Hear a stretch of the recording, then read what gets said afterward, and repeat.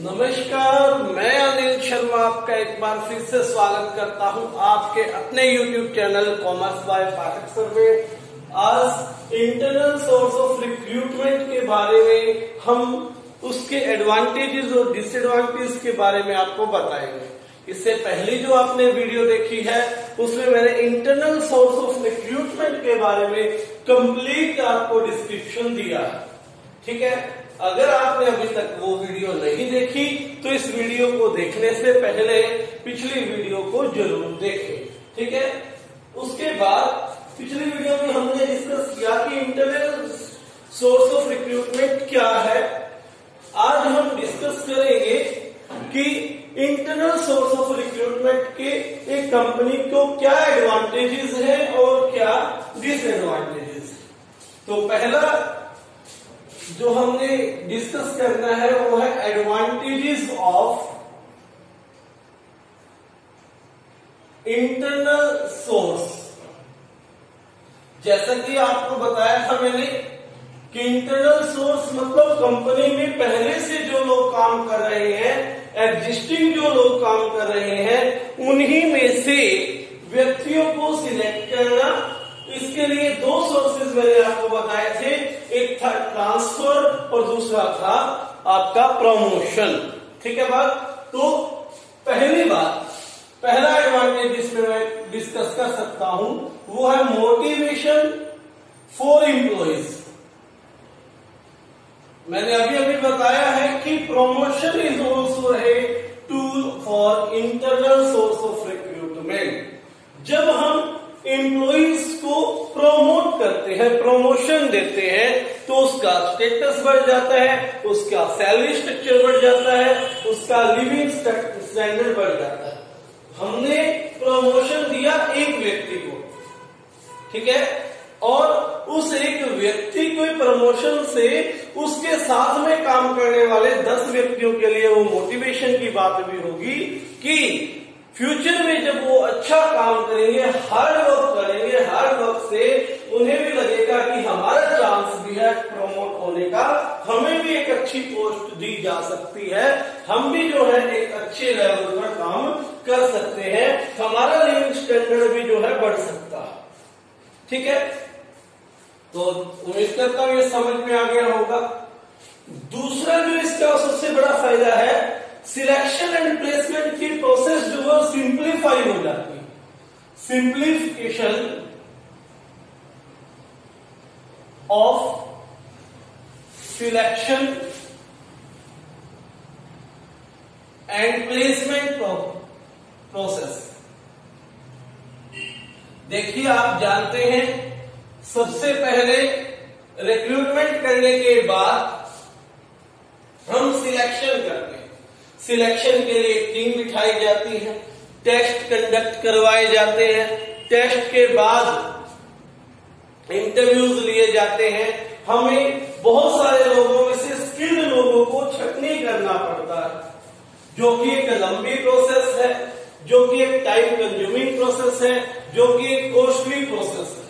लेकिन जब company internal source of recruitment से भर्ती करती है इंप्लॉइज को लेती है तो इन इस प्रोसेस में से नहीं जाना पड़ता। सिंपली वो उस व्यक्ति को जानते भी है, उसकी वर्किंग कैपेसिटी के बारे में भी वो नॉलेज रखती है। हमें क्या करना है, उसको प्रमोशन देनी है या किसी व्यक्ति को ट्रांसफ़र करना। तो सिलेक्शन और प्लेसमेंट दोनों की जो प्रोसेस है, उसमें बहुत ज़्यादा सिंप्लीफिकेशन हो जाता है। तो इसके अलावा जो थर्ड बेनिफिट मैं कंपनी को कह सकता हूँ tool of training tool of training training देने का भी एक अच्छा टूल है इंटरनल रिक्रूटमेंट कैसे? क्योंकि जब हम ट्रांसफ़र करते हैं एक एम्प्लॉय को दूसरे एक डिपार्टमेंट से दूसरे डिपार्टमेंट पर, ठीक है? या प्रमोट करते हैं उन्हें हायर जॉब पर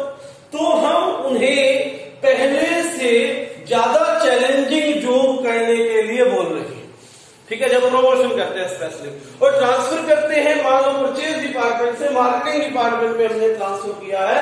तो हम उसको दूसरे जॉब का भी एक्सपीरियंस दे रहे हैं, जो कि एक एज ए ट्रेनिंग काम करेगा एम्प्लॉइज के लिए। तो हम कह सकते हैं एक टूल भी है किसके लिए ट्रेनिंग उसके बाद चौथा फ़ायदा ये हो जाएगा फोर्थ फ़ायदा adjustment of adjustment of over staff यदि आपकी फर्म ओवर स्टाफ है, उसमें ज़्यादा एम्प्लॉइज है तो आप उसे इस ब्रांच से दूसरी ब्रांच में ट्रांसफ़र कर दोगे। तो इससे क्या होगा कि जो ओवर स्टाफ ब्रांच है, उसका स्टाफ कम हो जाएगा और जो अंडर स्टाफ ब्रांच है, उसका स्टाफ पूरा हो जाएगा। तो दोनों तरफ़ से फ़ायदा है। ठीक है बात? और लास्ट इसमें एडवांटेज की बात करें भाई सस्ता बहुत पड़ता है। इकोनॉमिकल भी। है इकोनॉमिकल देखिए, ना सिलेक्शन लेना ना इंटरव्यू मीटिंग बिठानी, ना आपने किसी तरह के स्पेशलिस्ट को बुलाना, ठीक है? आपने जस्ट क्या करना है, अपने ही इंप्लॉइज को परखना है कि कौन उस जॉब के लिए लायक है और आप ट्रांसफ़र और प्रमोशन के द्वारा अपना काम चला सकते हो। तो ये सस्ता भी पड़ता है इकोनॉमिकल है इसके अलावा, इसके कुछ डिसएडवांटेजेस भी हैं। Disadvantages of disadvantages of internal source internal source के डिसएडवांटेजेस क्या है?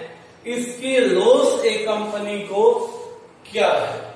ठीक है? ये हमने डिस्कस करना है। इससे जब हम इंटरनल सोर्स से रिक्रूटमेंट करते हैं। तो फ्रेश टैलेंट्स को फ्रेश टैलेंट फर्म में नहीं आ पाता। जो नए लोग होते हैं, वो न्यू ब्लड के साथ आते हैं, नई एनर्जी के साथ आते हैं, नई टेक्नोलॉजी के साथ आते हैं, वो नई, बहुत कुछ नया लेकर आते हैं अपने साथ। ठीक है? तो ये क्या कर देता है? उन, उस फ्रेश टैलेंट को आने से रोक लेता है, नए व्यक्तियों को आने से रोक देता है। तो हम कह सकते हैं कि एक लॉस है। Reduce the scope of fresh talent. जो नए व्यक्ति हैं, वो इसमें नहीं फर्म में आ सकते और वो नया नहीं ला पाते तो नई टेक्नोलॉजी के साथ हम नहीं चल पाते, नए लोगों के विचारों के साथ नहीं चल पाते, नई एनर्जी हमारे पास नहीं आ पाती। तो ये एक तरह से क्या हो जाता है, हमारा लॉस होता है इस केस में। ठीक है? दूसरा employees may become lethargic. Employees may become lethargic. अर्थात इसका मतलब क्या हुआ? भाई, जिन लोगों को पहले ही ये पता है कि हमें हटाया नहीं जाएगा, हम यहाँ पर ट्रांसफ़र करेंगे या हमारी प्रमोशन करेंगे, हमें हटाया तो जाएगा नहीं। फर्म में नए इंसान आएँगे नहीं तो कहते कि काम करो या ना करो, क्या फ़र्क पड़ता? तो इस तरह से ये सोच के जो लोग होते हैं, वो लेथर्जिक हो जाएँगे और जिसका लॉस फर्म को क्या करना पड़ेगा? बियर करना पड़ेगा, वहन करना पड़ेगा। ठीक है? इसके अलावा इनकम्प्लीट सोर्स है। यह एक पूर्ण सोर्स नहीं है। क्यों नहीं है भाई? क्योंकि यहाँ से हम केवल उन्हीं इंप्लॉइज को ले सकते हैं जो हमारे पास एक्सेस है। यानी कि यदि हमने मान लो नीचे वाले इंप्लॉइज को प्रमोट भी कर लिया तो नीचे वाली पोस्ट खाली हो गई। ठीक है? सीट तो वकेंट हो गई ना। दूसरा, जो नई फर्म है, उसके पास एग्जिस्टिंग ही नहीं।